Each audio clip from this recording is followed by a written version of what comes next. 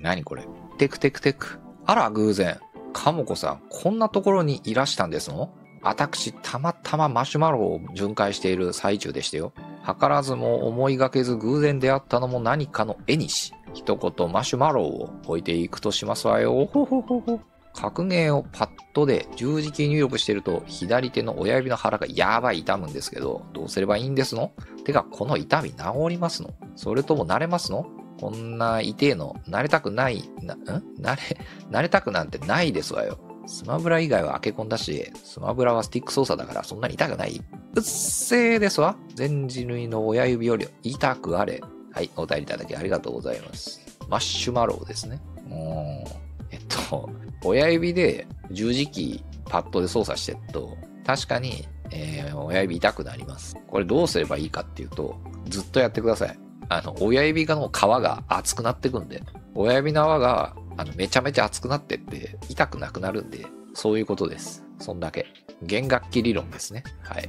あのー、ね、お母さんたちが熱々のね、お鍋を素手で持てるのと同じで、まあ、基本的にはね、指がね、強くなるんですよ。肌が。皮膚が。えー、なんで、基本的には肌が、皮膚が硬くなっていく。ね、恐竜みたいになっていくだけだから。俺がもともと同人格ゲーとかやってる時は、まあ、ずっとサタパっていうかパッドでやってたんで、最初はね、確かに、ね、指痛いなって思ったんだけど、まあ、年から年中ずっとやってたら、硬くなってって、痛いとかはなくなったね。だけど、未だにね、やっぱね、パッドでためキャラとかをやろうとすると、ちょっと痛いなってやっぱ思っちゃう。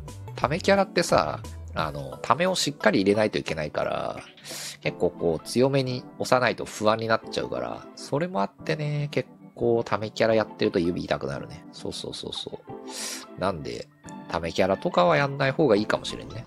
ためキャラとかは避けていくのがいいと思う。あとは意外とね、パッドによって変わってくるね、これも。十字キーが、そうだな。あんまりやっぱ尖ってるやつは痛いし、十字キーがちょっとなんかこう、飛び出してる系のやつ。手前にね、手前にこう飛び出してる系のやつはちょっと痛くなりがち。っていう、まあ、あれはありますけど、基本的にはなんとかなる。で、どうしてもなんとかしたかったら、軍手してやってください。軍手。まあ、指サックでもいいけど、な、なんか、あの、指にはめてください。絆創膏でもいいわ。ただ、絆創膏だとちょっと滑るんで、まあ、なんかそういうね、手になんかつけてやってください。俺があのー、アーケードでアルカナブラってやってる時、アルブラ。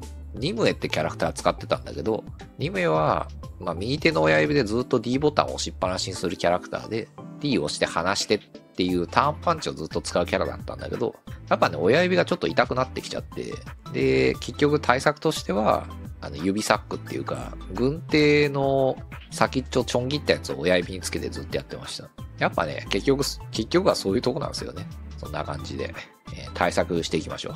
えー、はい、そんな感じです。お便りいただきありがとうございました。